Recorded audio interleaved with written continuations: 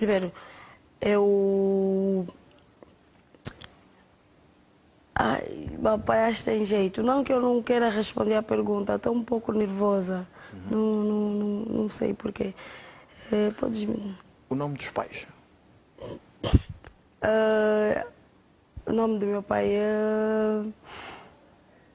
Joaquim. Uh, ah, me desculpa, um pouco nervosa. Só um minuto para me acalmar.